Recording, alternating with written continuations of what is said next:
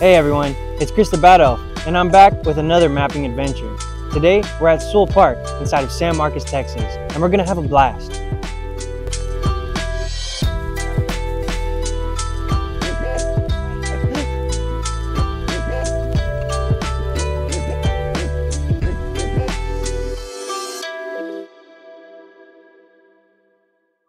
While this is not the easiest thing in the world, it is my hope that everyone tuning in leaves feeling like they learned something and had a lot of fun along the way.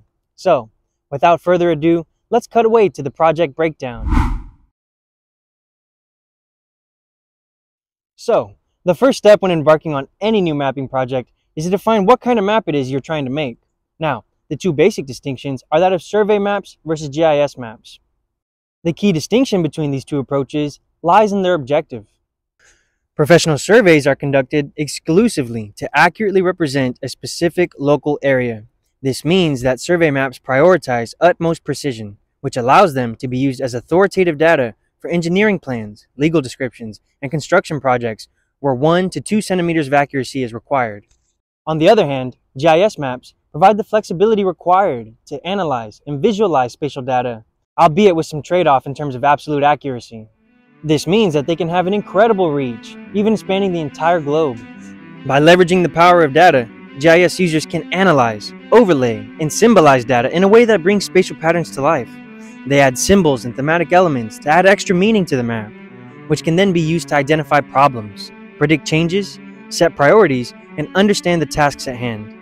Since GIS users are not forced to rely solely on primary data, they can do all this without even stepping away from their desktop. It's like having a whole world of insights right at your fingertips. Because of this high degree of flexibility, GIS maps are tools in almost every industry today.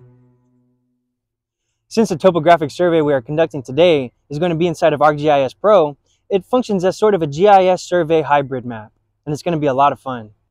So, let's get into the research and preparation portion of the video in our project breakdown. Welcome to the project breakdown. This portion of the video will show you how to prepare for data collection using ArcGIS Online. In three steps, we will find the official parcel data of the survey site, create map features that are ready for GPS data collection, and lastly, we'll talk about how to export created features to ArcGIS Online. First, let's begin by following this link.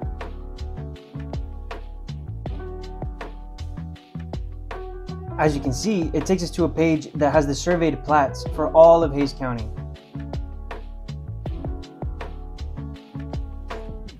Here, we can find the parcel for Sewell Park and all of its relative legal information. This is a good example of how surveys leverage their high accuracy and reliability to enable them to be used authoritatively. With this information, we can now load into ArcGIS Pro with our parcel boundaries and begin creating our feature classes. Since we are focusing on surveying the elevation at Sewell, we are going to be creating the spot elevation feature class first. When creating the spot elevation layer, we want to be sure to specify it as a point feature. Finally, let's change the coordinate system to State Plane Zone FIPS 4204. Using a localized projection like this, make sure that we maintain the 1 to 2 centimeters of accuracy that we are striving for. After creating the feature, the next step is to add GPS metadata fields. Where we use the fields it creates to map our contours and display the coordinate geometry of the boundary. There's altitude, the coordinates, as well as the accuracy of the fix. After repeating the process for each feature class, we can begin sharing them as web layers to ArcGIS Online. This makes them available on the cloud and enables mobile data collection with our Bad Elf Flex. As you can see, there is a brief error, but it is easily fixed by auto-assigning sequential IDs the web layer was published successfully, and after repeating the process for each feature class, we can begin sharing them as web layers to ArcGIS Online. So after each one is added, we'll be able to collect data inside of field maps while out in the field. That concludes the research portion of the video, so let's get on to phase 2, conducting our survey and collecting data.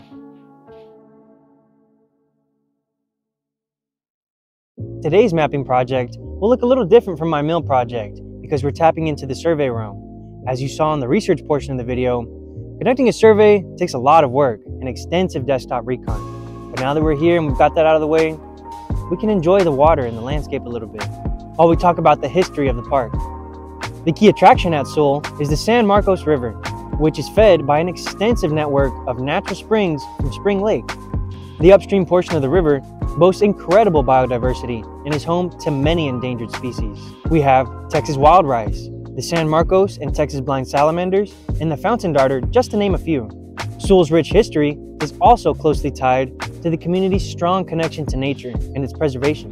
Since the park's establishment in 1916, it's become a cherished gathering space for families, students, and nature enthusiasts alike.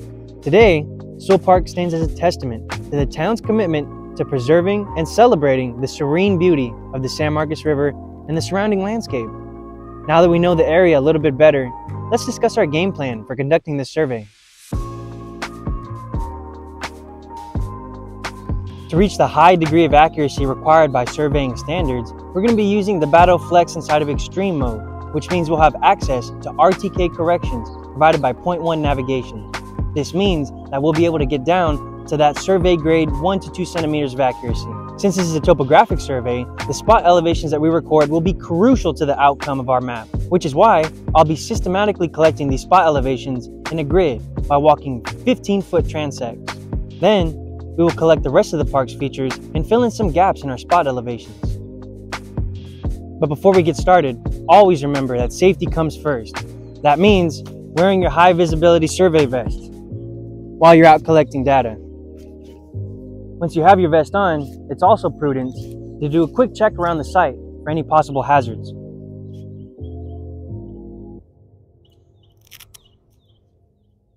With that out of the way, let's get to it, guys.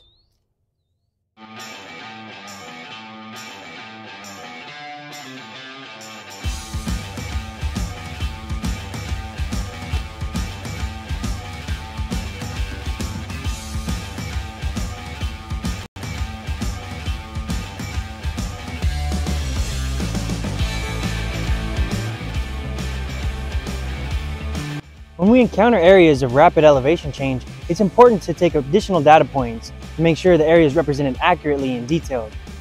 Man-made structures like this wall provide a unique challenge, especially inside of ArcGIS.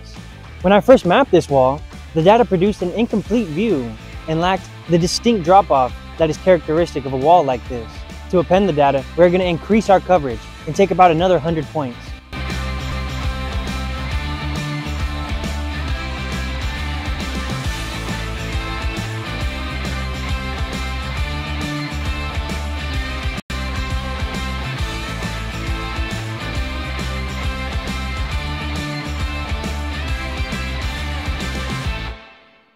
So that was a lot of fun. If you can't tell, I really love being at the river.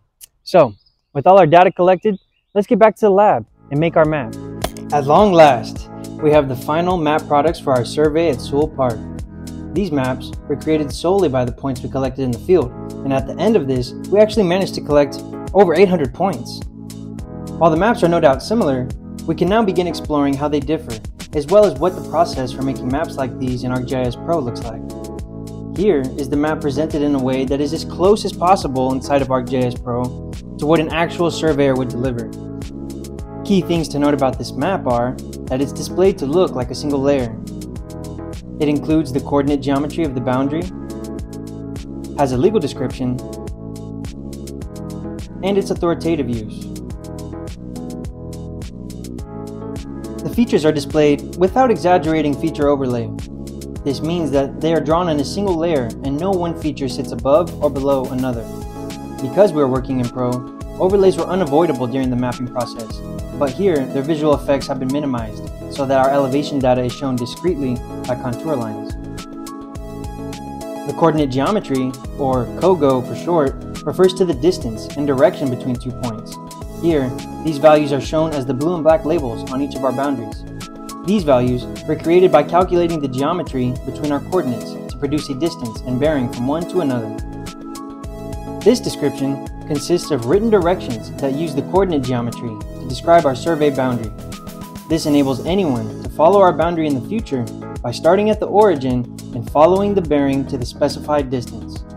Lastly, this map has to be noted as only for educational purposes so it does not get accidentally used as official data. This is doubly important because surveyors assume liability if anything is off in their maps, which perfectly exemplifies the level of responsibility that organizations expect from surveyors. Now, we can focus on our GIS interpretation of the map. Some immediate differences are the use of overlays and rasters. By overlaying data, features are layered to superimpose themselves inside of our digital elevation model. Transparency, drawing order, and color are all manipulated to provide a thematic experience that encapsulates the conclusion of our analysis. This use of overlays also allows us to generate new data layers from pre-existing ones, which is how the contour and sidewalk features were created. A huge benefit of mapping inside of ArcGIS Pro is that it allows us to create a continuous surface like this digital elevation model you see in the back. Every cell in this elevation raster has a value that was interpolated using the altitude of our topo points. This process assigns each cell the most likely value based on the neighboring topo points. By symbolizing different values as different colors, we are able to fully visualize the topography of our section of Sewell Park. This interpolation method is also why we were forced to take so many points at the wall but now, we can see that they serve to give us a clear image of what's going on here, even better than the survey interpretation in some cases. Overall, I really enjoyed making these maps. Getting to explore the realm of surveying has been exciting.